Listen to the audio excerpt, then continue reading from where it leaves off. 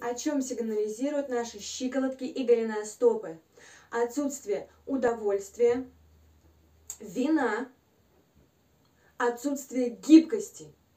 То есть, когда мы идем только прямо, несмотря ни на что, у нас есть свое мнение, мы думаем только вот так, никак по-другому мы не можем повернуть, завернуть, не пойти навстречу или еще что-то отсутствие удовольствия, в жизни нету удовольствия. То есть мы не получаем того удовольствия, кайфа, вкуса жизни, отсутствие, просто отсутствие, этого нет. Мы как роботы идем туда-сюда, выполняем определенные задачи, отсутствие удовольствия.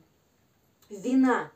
Что такое вина? Вина может быть любая, за что угодно, перед кем-то вашей жизни – что-то случилось, как-то вы себя повели не так. Вина. Вина перед определенным человеком. Вина того или иного действия. Вы себя в чем-то вините.